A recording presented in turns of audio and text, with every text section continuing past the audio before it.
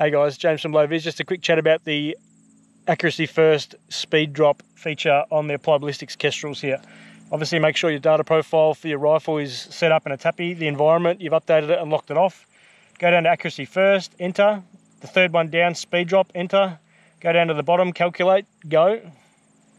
With this rifle, with this ammunition, with a 0.2 mil margin for error, the minimum range for this rifle is 325 meters and the maximum range is 896 meters. What that means is if at the top it gives you the reading or a mil number, for mine it's 2.3, you dial under 2.3 mils on your, on your elevation turret, what that allows you to do is use the reticle as a BDC within these range brackets here. So at 325 meters, I'd hold over 3.2, all the way out to 896 meters, I could hold 8.9. Uh, the wind dots don't work anymore what this allows you to do is to shoot quickly without touching the turrets with confidence knowing that at these distances at 500 meters you'd hold over 5 mils. 600 meters is 6 mil 640 would be 6.4 only within those brackets within that margin for error. If you go up to speed drop number change it to 0.1 mils it recalibrates. Now the minimum is 413 maximum is 817 so it tightened the belt a little bit Again, what that means is at 413 meters, hold over 4.1. At 800 meters, hold over 8. So this is very different depending on your velocity and your BC, all that kind of stuff, how the bullet flies through the air. Um, this is a pretty angry round. It's going fairly quickly, so the minimum range is a lot further out than a, a 308 with a 168 at 2,500. That'll be a different story altogether. Have a play with this. We've got some targets set up. We've got 699, 550, 497 and 811. We're going to fire a couple of rounds and see how this pans out. So the first target is at 550. We're going to hold over 5.5.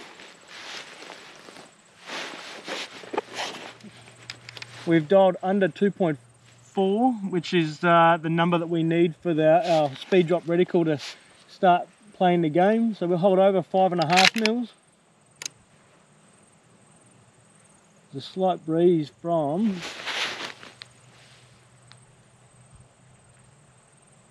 left to right.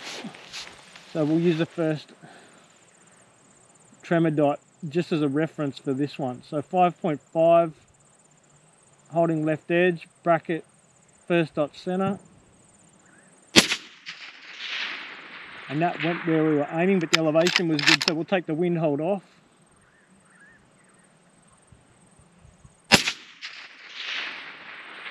And that hit just above the water line. So we'll do it one more time.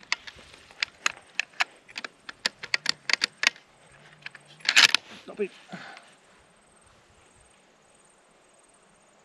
Five and a half center.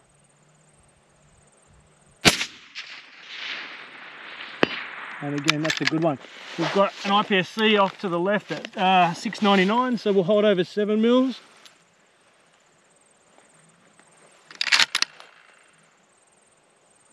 We'll hold, we'll favour left at 7 mils.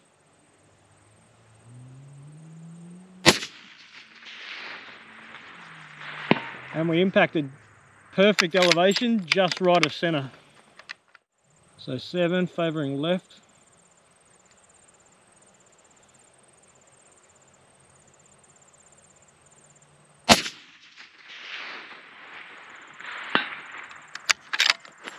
Done. So now we'll move over to our 500 meter gong. This is 497. It's a quite a small one, but that's okay. So we'll hold five and we'll give it a point one left.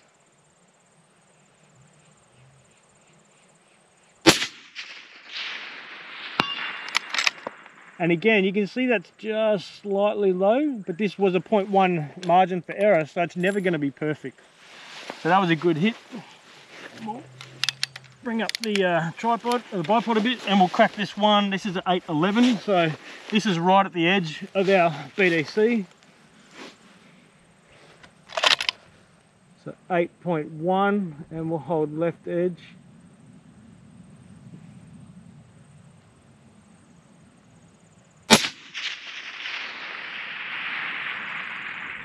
That hit low and right. I'll give a bit more wind, come up a bit.